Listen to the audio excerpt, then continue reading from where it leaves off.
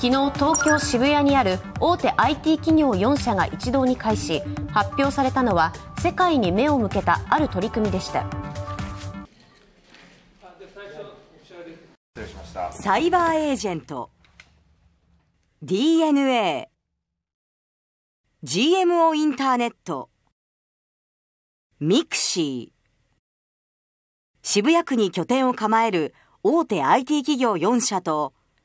渋谷区教育委員会東急電鉄の6社で行われた会見。渋谷区にある小中学校でのプログラミング教育の充実を図り次世代に必要な資質能力を持った人材を渋谷から輩出することを目的とした協定を結びキッズバレー未来の学びプロジェクトを推進することが発表されました。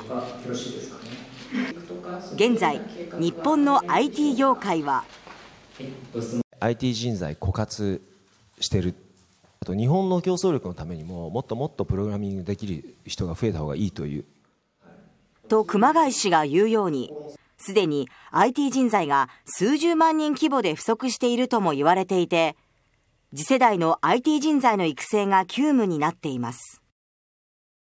そんな中来年2020年度から小学校で、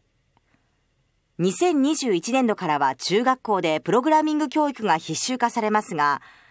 教材や指導員の不足などの課題が山積されています。この課題を解決しようと、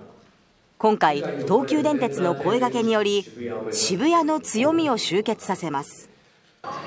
ICT 教育を積極的に推進してきた渋谷区教育委員会と渋谷発の日本を代表する IT 企業4社がこれまでに培ってきたノウハウを融合させプログラミング教育カリキュラムの開発や教育現場支援を行うことで官民連携による質の高い次世代教育モデルの実現を目指すということです。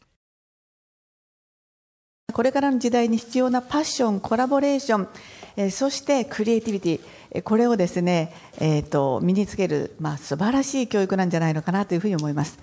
これから、え渋谷を中心に、え新しい才能を、ま育てていく新しいヒーローの、え誕生を待ってますとプログラミング学習、まあ、そういったものを子どもたちに伝えていけたらいいかな